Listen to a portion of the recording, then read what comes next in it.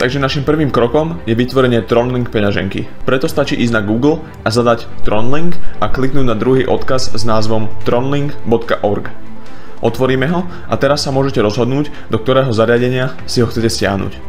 Vidíte Android, iOS alebo rozšírenie prehľadača.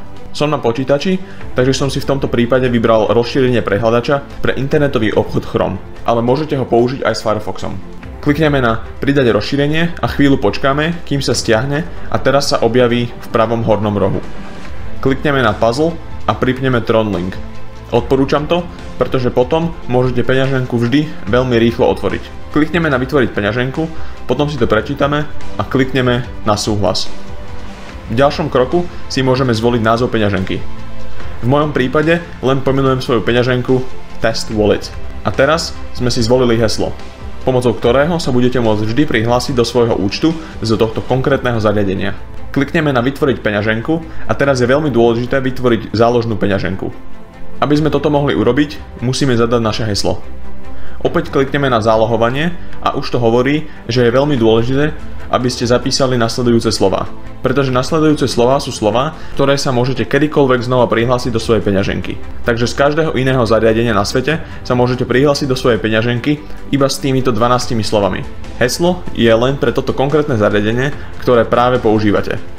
Nezabudnite si teda zapísať týchto 12 nasledujúcich slov. Teraz sú zobrazené tu. Takže si to zapíšem a o chvíľu sa vrátim. Takže teraz som to urobil a nasledujúcou úlohou je kliknúť na slova v správnom poradí.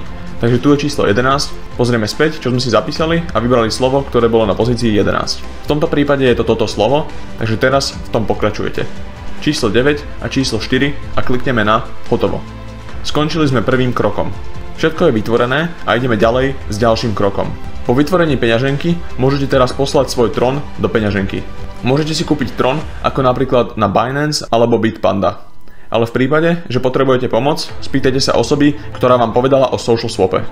Takže potom, čo ste si kúpili svoj tron a poslali ho do peňaženky, ako som to urobil pred pár sekundami, bude zobrazený priamo tu. Takže teraz môžete otvoriť Social Swap s kopírovaním odkazu od osoby, ktorá vám povedala o Social Swap.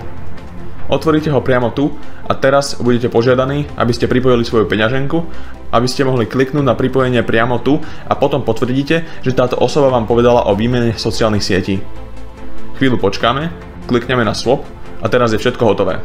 Teraz si môžete kúpiť svoj Social Swap token, takže ste si práve tu vybrali SST a my teraz vymeníme 100 tronov SST.